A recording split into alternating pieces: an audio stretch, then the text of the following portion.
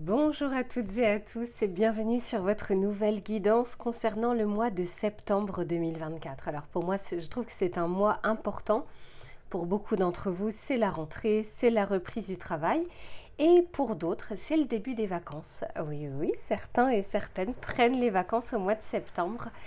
Euh, alors aujourd'hui, on va faire un tirage complet comme d'habitude avec l'aspect général, l'aspect professionnel et l'aspect sentimental. Je vous mettrai le timer en bas de la vidéo s'il n'y a qu'un seul des trois sujets qui vous intéressent. Et à ceux et celles qui souhaitent un tirage personnalisé, vous allez directement sur mon site internet www.lou-k.com et vous avez deux possibilités. Soit une consultation en direct sur WhatsApp pour que vous puissiez interagir avec moi et voir votre tirage, soit vous préférez me confier votre problématique. Je réalise votre tirage que j'enregistre et que je vous envoie, que vous allez pouvoir voir et revoir à votre guise. À ceux et celles qui sont intéressés par les tarots et oracles que j'utilise, j'ai fait la vidéo bonus que je vous mettrai cette fois-ci dans les commentaires épinglés. Vous allez retrouver toutes les références que j'ai utilisées dans l'ordre d'utilisation, ainsi que la boutique dans laquelle je vais les acheter qui s'appelle Dans les yeux de Gaïa et avec laquelle vous avez une réduction de 5% avec le code LUCA05. Allez, je m'installe confortablement et on se retrouve tout de suite pour votre tirage général.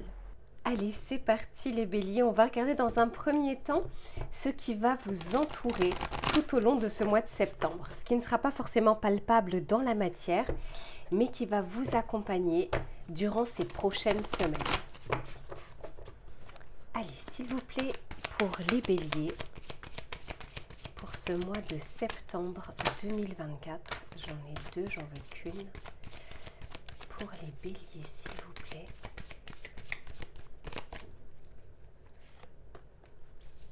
Ok, magnifique. Bon.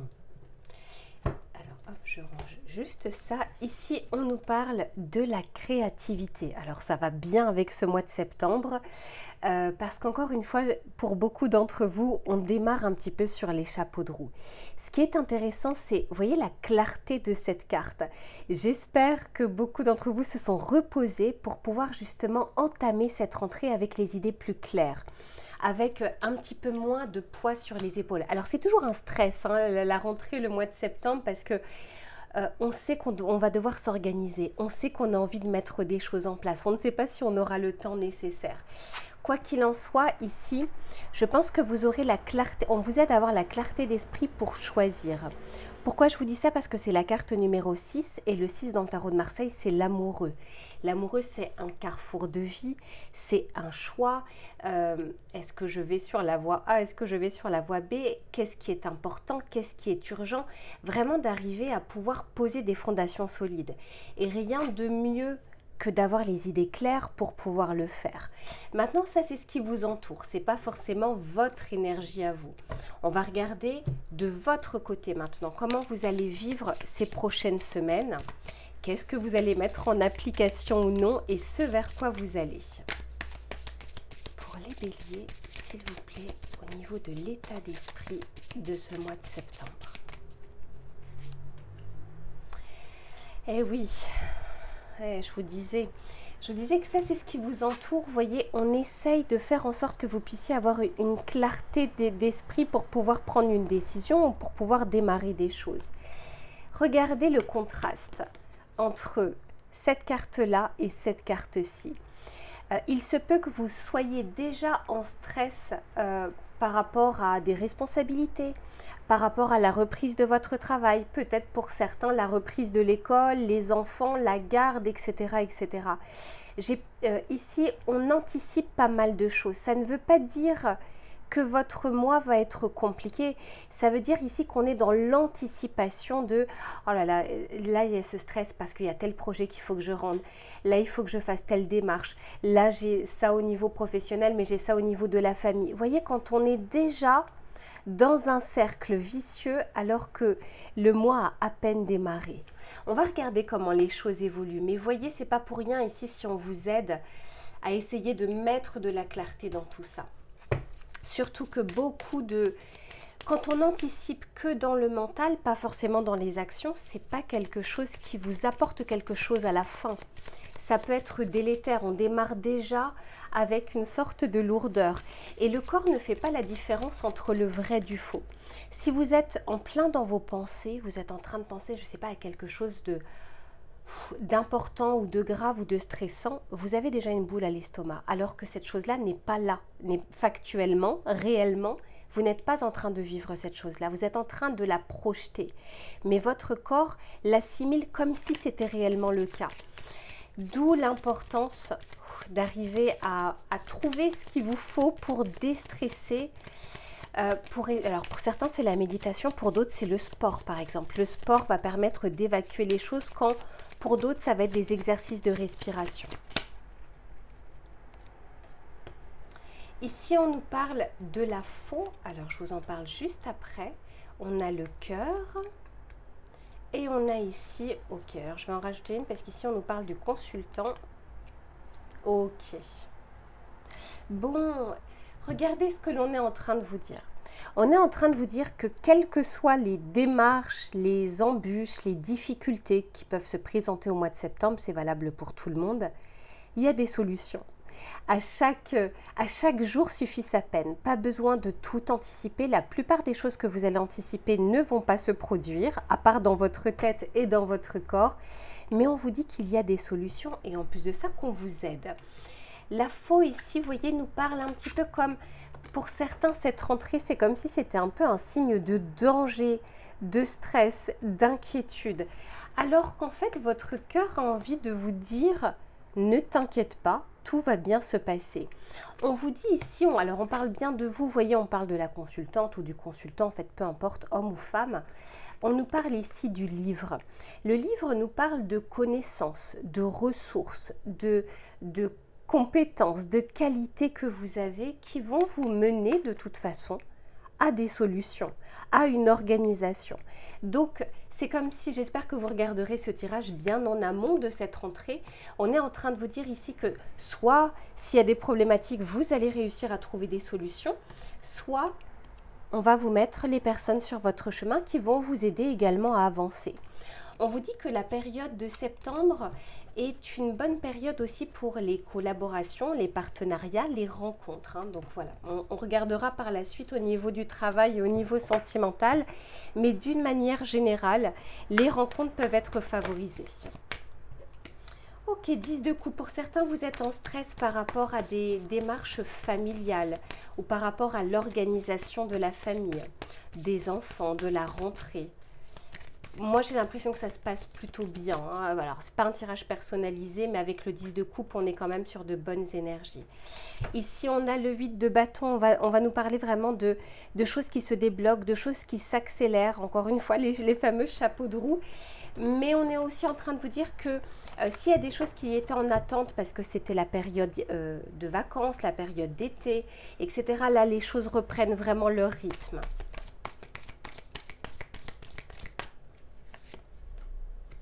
Magnifique. Mais, bien sûr, regardez, j'ai la clé ici et j'ai le 6 de bâton. Le 6 de bâton nous parle de reconnaissance, de réussite, de succès. Alors encore une fois, vous n'avancez pas au même rythme, vous n'aurez pas les mêmes euh, réussites ou les mêmes problématiques, mais il n'en reste pas moins ici que c'est comme si c'est beaucoup plus votre mental qui va vous faire plus de mal que la réalité, que la concrétisation des choses. Donc essayez autant que faire se peut de vous apaiser en amont. On va regarder le message conseil que l'on souhaite vous donner pour cette rentrée, pour ce tirage général. Allez, pour les béliers, Ici, on vous parle du sonographe, carte numéro 26. 2 plus 6 égale 8. Le 8 dans le tarot de Marseille, c'est la justice.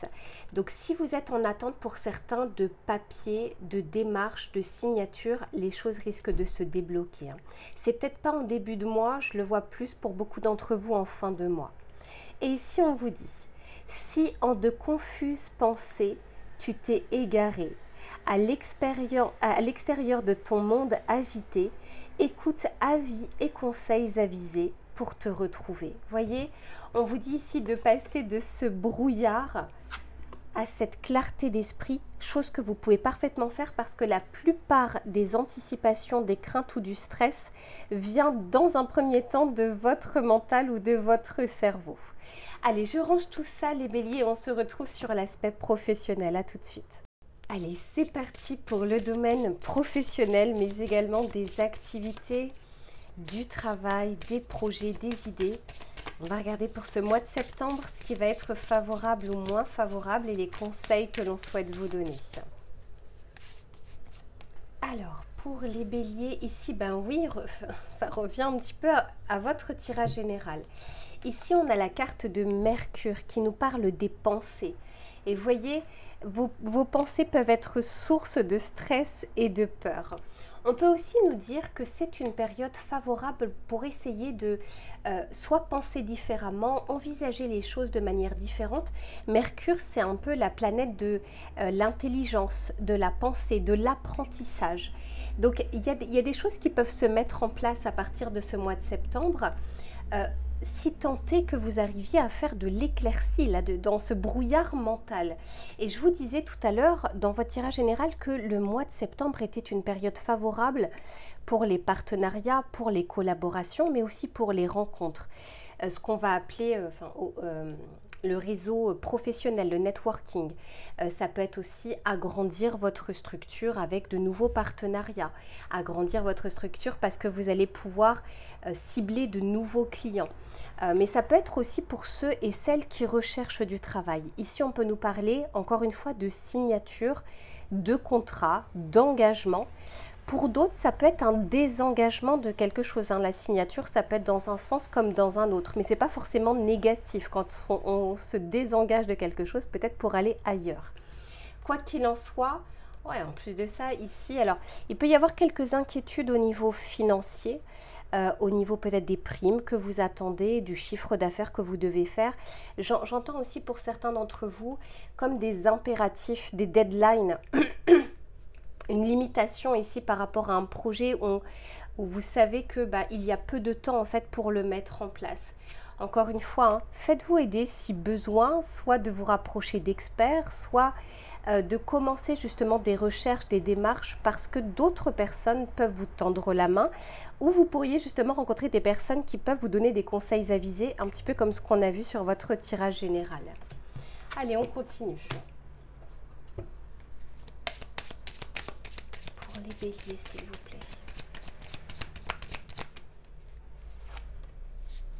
Ouais, ici on vous dit que sur cette rentrée, le mot d'ordre, ça va être euh, l'organisation.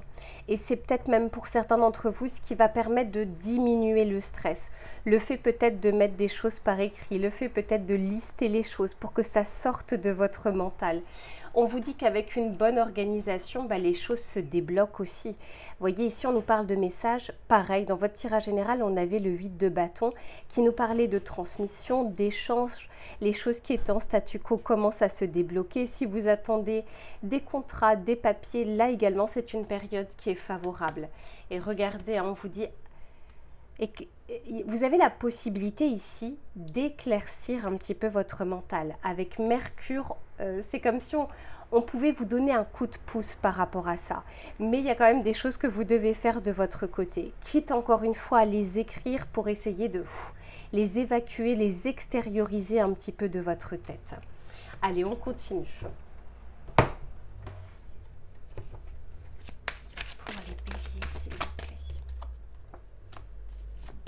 Alors pour certains, vous êtes en train de d'organiser, de programmer ou de planifier un changement très important dans votre vie professionnelle.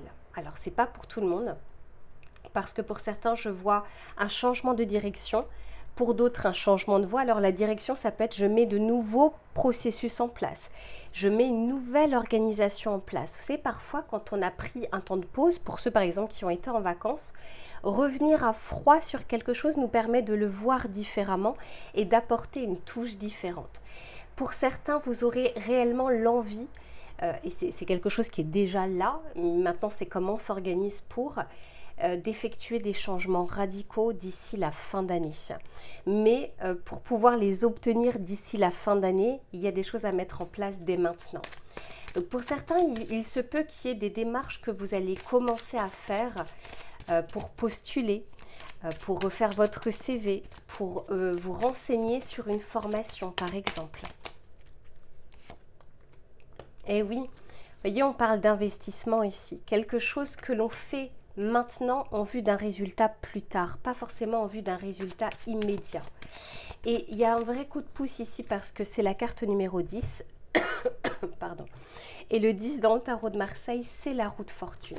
Et regardez ce que j'ai derrière. On nous parle bien de d'accords, de partenariats, euh, de nouvelles connaissances ou bien effectivement de signature de contrat. La carte numéro 14 dans le tarot de Marseille, c'est la tempérance. Donc dites-vous que les communications seront fluides, euh, les démarches également seront facilitées je pense que le plus gros de votre travail ici, c'est quand même vous, votre mental, votre organisation et votre projection. Je pense que c'est là où il y a un focus à faire parce qu'au niveau extérieur, très sincèrement, je, sens beaucoup plus de déblocage euh, alors qu'à l'intérieur, on est beaucoup plus dans l'anticipation et le stress. On va regarder avec le tarot pour terminer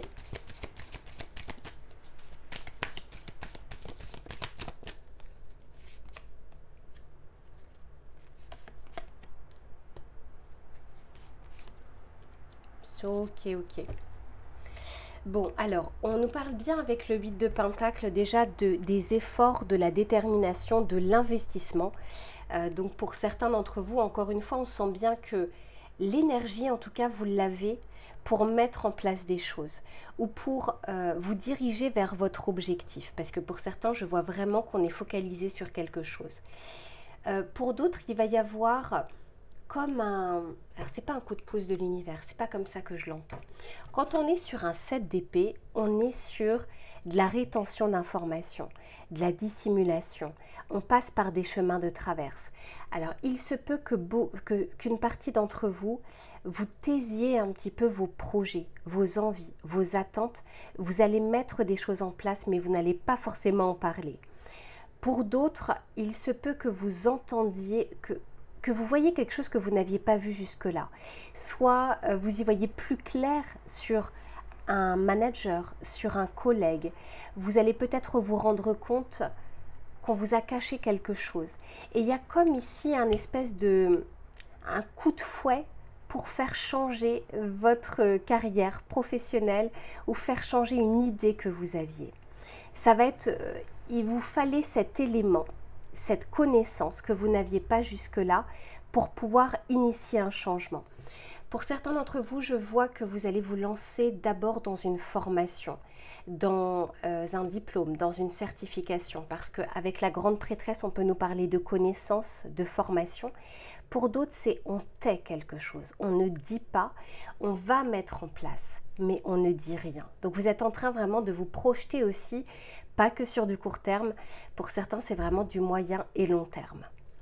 On va regarder le message conseil que l'on souhaite vous donner pour l'aspect professionnel.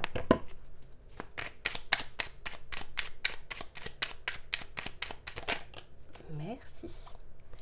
Ici, on vous dit, vous voyez, j'expulse ma nervosité. Et on vous dit, j'agis, sport, hobby, activité, pour me, pour me permettre d'être plus calme. Je mets mon énergie au service d'une action ou d'une décision. Vous voyez, c'est comment canaliser un petit peu ce stress que vous pouviez avoir, mais pour quelque chose qui peut être dans la finalité bonne pour vous. La colère, par exemple, c'est une énergie. Hein. c'est quelque chose, vous voyez, on, euh, on, a envie de faire le ménage, on a envie de courir, on a envie de crier, etc. Et cette colère-là peut vous amener à, mettre en place des démarches, mais dans, dans un but un petit peu plus honorable.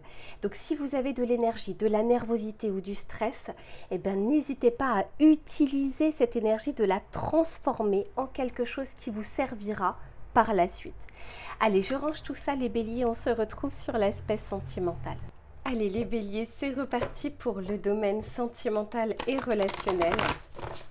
On va regarder sur ce mois de septembre ce qui vient vers vous, les éléments qui vont être favorables ou moins favorables et les conseils que l'on souhaite vous donner.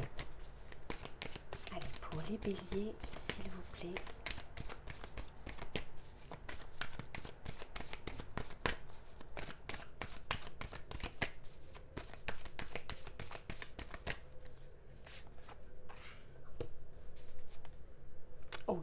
Bon. Eh bien, ce mois de septembre est signe de renouveau les béliers, puisque ici on nous parle de la jeunesse, donc on peut nous parler de prémices, on peut nous parler de choses qui sont en gestation, on peut nous parler de quelque chose qui n'est pas encore mature, d'autant plus que derrière, ici j'ai le commencement.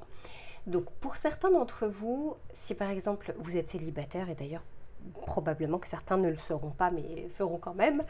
Euh, ici, on nous parle d'échange de communication et souvenez-vous, hein, déjà dans votre tirage général, on disait que pour vous, le mois de septembre, les communications allaient être favorisées. Ça peut être retrouver de la communication dans son couple et ça peut être euh, commencer des échanges de la communication, des rencontres possibles pour les personnes qui sont célibataires ou pour les personnes qui recherchent l'amour.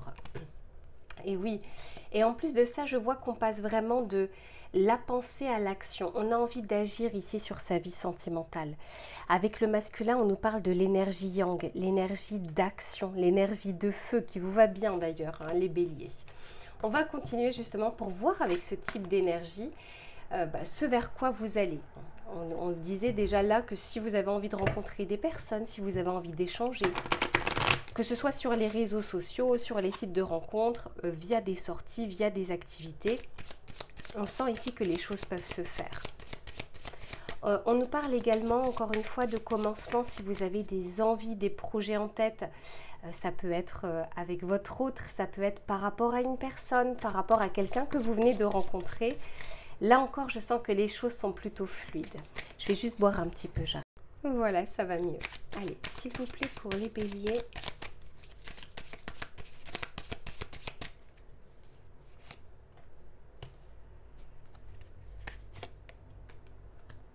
Eh oui, hein, voilà, là, donc, vous êtes motivés là, les béliers.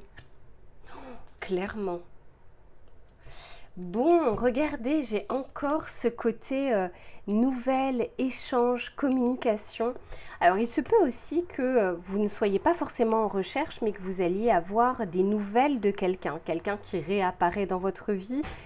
Euh, ça peut être un ex, mais pas seulement. Ça peut être aussi quelqu'un que vous n'avez pas vu depuis longtemps. D'ailleurs, pour certains ou certaines, une petite partie d'entre vous, ça peut être quelqu'un avec qui bah, vous avez euh, étudié, quelqu'un avec qui par le passé vous avez travaillé. Euh, peut-être qu'il va y avoir des échanges comme ça, des retrouvailles sur les réseaux sociaux, on échange à nouveau son numéro de téléphone. Euh, pour d'autres, c'est encore une fois, les rencontres ici vont être favorisées. On nous parle ici avec les arts, voyez, je sens que on est plein d'envie, plein de motivation pour créer ou pour mettre des choses en place. Alors ça me fait d'autant plus dire que ce sont les prémices et les débuts, parce que d'ailleurs les béliers, c'est très connu, on démarre un peu sur les chapeaux de roue, quoi qu'il en soit, on est, souvent en mode euh, euh, décollage, voilà, c'est vraiment la phase qui vous plaît le plus, c'est la constance qui va être un petit peu plus compliquée, et là je parle dans l'archétype du signe du bélier, pas vous en tant que personne, mais au niveau du signe. Mais là, je sens qu'il y a comme l'envie de renouveau ou comme soit vous retrouvez une belle énergie, vous avez envie de plaire à nouveau, vous avez envie d'échanger, vous avez envie de mettre des projets en place. Il y a cette comme si on était revigoré.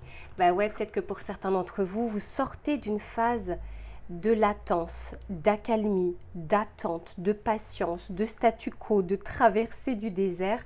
Et là, tout d'un coup, ben, je ne sais pas, c'est comme si vous le ressentiez en fait à l'intérieur de vous pour pouvoir mettre des choses en place.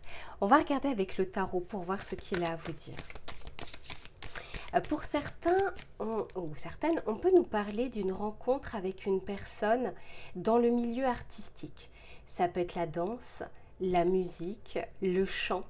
Euh, il y a peut-être une rencontre comme ça. Soit la personne a ce type de d'appétence, soit c'est dans le cadre justement d'activités euh, que vous faites, de passion, de le sport aussi peut en faire partie.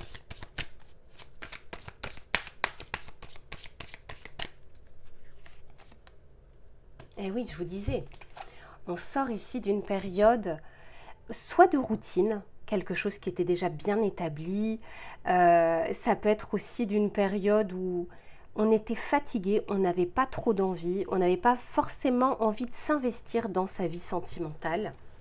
Mais là, je, sens que c'est l'inverse. Et d'ailleurs, regardez ces deux cartes-là avec ce rouge, ça vous va bien, hein, les béliers, la couleur rouge, le côté feu, vous va bien. Et ça me fait vraiment penser à cette passion qui revient.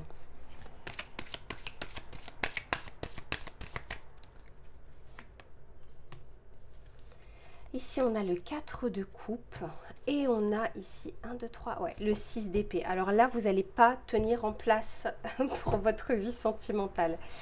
Euh, il y a des choses ici qui vous plaisent moins dans votre vie ou dans votre célibat ou dans votre routine. Et je sens qu'on aura envie ici de mettre un coup de pied dans la fourmilière. Euh, vous sentez que euh, vous avez des actions possibles, des leviers possibles. Euh, et vous savez qu'en fait, c'est pas. Vous avez envie de reprendre les rênes de votre vie. Vous avez envie à nouveau de plaire, à nouveau d'être séduisant ou séduisante. Euh, vous savez que vous avez un pouvoir de séduction euh, et là vous aurez envie de l'utiliser. Alors je vous le souhaite à bon escient, mais quoi qu'il en soit ici, on peut tout à fait nous parler de ne pas rester en place et de sortir d'une situation qui ne vous convient pas, mais parce que vous allez initier des démarches. Donc ça peut être aussi sortir d'une période de conflit, conflit intérieur entre le cœur et la raison ou de déboires sentimentaux, conflit avec votre autre. Euh, il y a eu quelque chose qui ne se passait pas comme prévu, on n'arrivait pas à communiquer, on n'arrivait pas à s'entendre. Quoi qu'il en soit ici, je sens qu'il y a comme une envie d'un avant et d'un après et vous commencez à mettre les choses en place. Est-ce que je vous ai pris un message conseil? Oui. Allez, on va regarder le message conseil que l'on souhaite vous donner.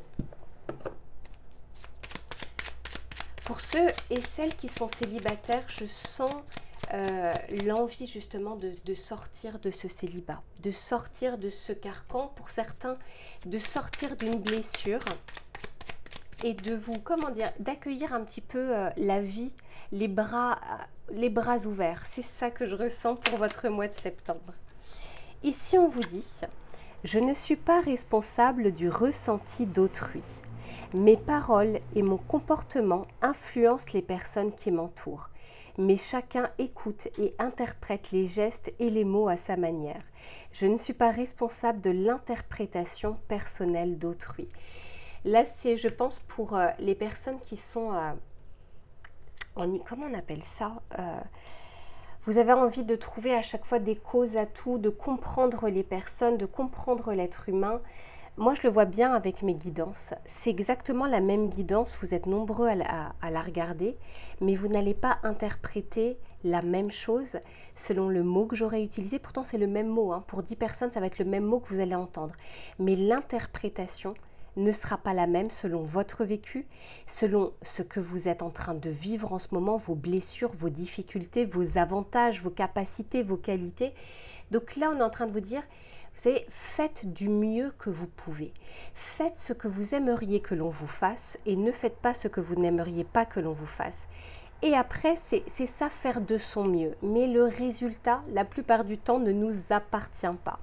Et c'est ce qu'on aimerait vous dire, de vous dire de c'est pas penser à vous en mode égoïsme, c'est penser à vous selon votre prisme. C'est très bien d'essayer de comprendre les autres ou d'essayer de se mettre à leur place, mais vous ne pouvez pas vous adapter à chaque personne que vous rencontrez. Vous ne pouvez pas essayer d'anticiper non plus les pensées ou les paroles des autres. Donc c'est comme un lâcher prise ici qu'on vous invite à faire. C'est pas sur les conséquences parce que euh, chaque parole, chaque action a des conséquences et c'est nous qui allons payer euh, les choses ou récolter les choses, c'est de faire du mieux que l'on peut avec ce que l'on a à l'instant T. Allez, je vous laisse ici, mes chers béliers. Je vous fais plein de bisous et on se retrouve très vite pour une prochaine guidance. À bientôt.